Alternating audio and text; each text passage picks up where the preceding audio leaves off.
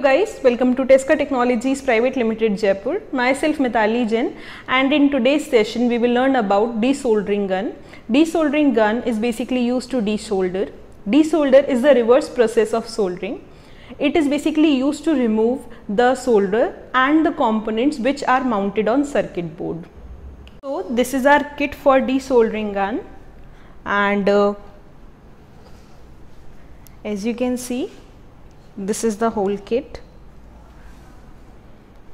So this kit comprises of this is desoldering gun this is nozzle wrench these are pre-filters and uh, there are also ceramic paper filters. As you can see these are ceramic paper filters and these are pre-filters and this is uh, iron holder. And these are two cleaning pins this is cleaning pin of uh, for 0.04 inch and this is cleaning pin for heating element. So now we will learn about the different part of this gun.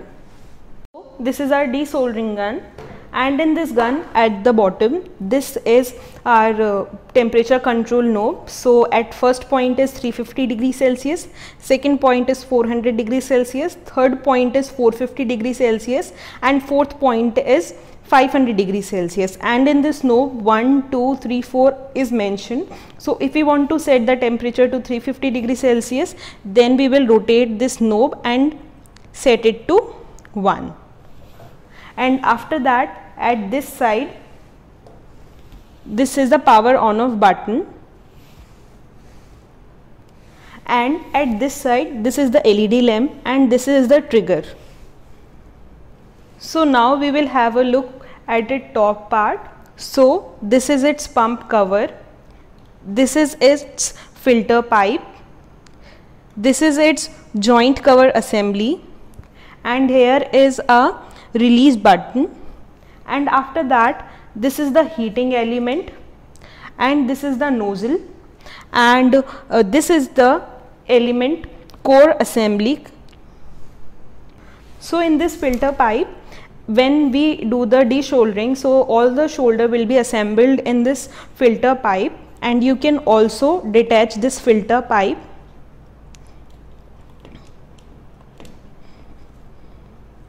so as you can see that I have detached it and these are the filters as we have already seen them. So you can remove this filter and you can also add the new filter. So this is the whole assembly. So this is our whole gun. And this is the holder. So through this holder we can remove uh, this element because when the soldering gun is very hot so we are not able to remove it. So through this holder we can remove this. So you can see in this way we can clean our soldering gun from inside also. And this is basically the nozzle pipe. So, through this pipe we can also clean our heating element from like heating nozzle from inside. And through this we can clean the heating core. And these are two filters provided with it which I have already shown.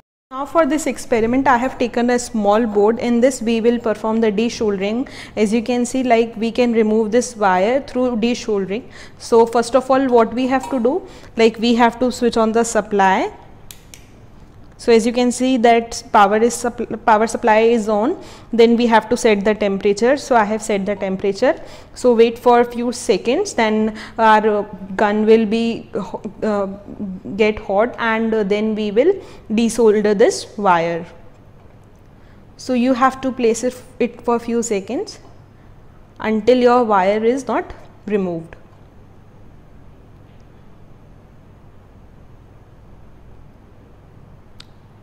and as you can see that our eh, heat has been so as you can see that this wire is removed.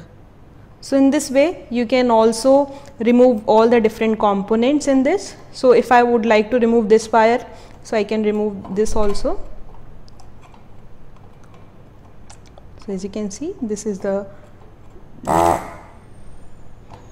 so in this way we can desolder the element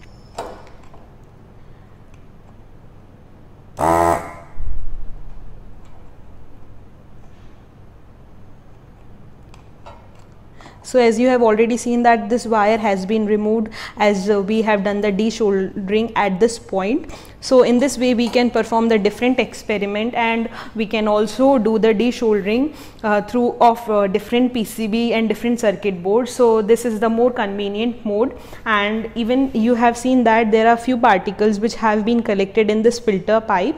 So you can also remove that desolder element through it so you this is detachable. So this is the whole experiment of uh, desoldering.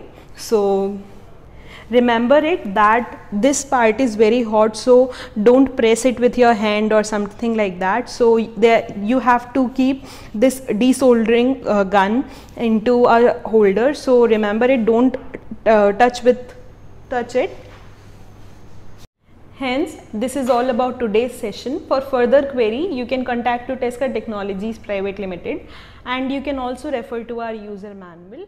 Thank you for watching the video.